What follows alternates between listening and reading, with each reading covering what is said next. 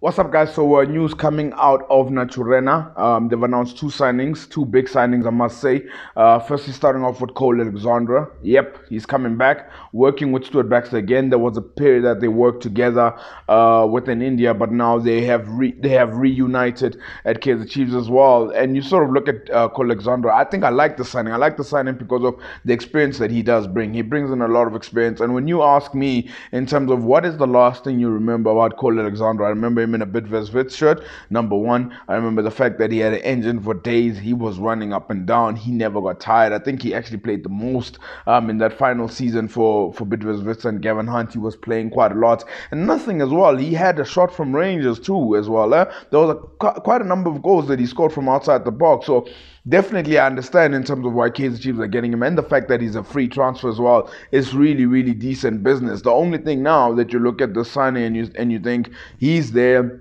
Teddy Akumu is there, Njabulo Blom is there, uh, Nange is there. You sort of start to think, what is the future looking like for Katsande? And if you've been reading reports, you probably would think that it might be time's up for him. But as for Cole Alexander, I totally understand why.